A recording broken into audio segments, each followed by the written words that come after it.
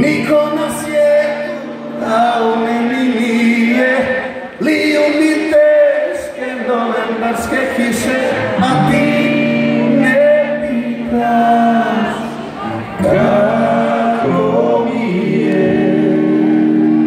Γιατί η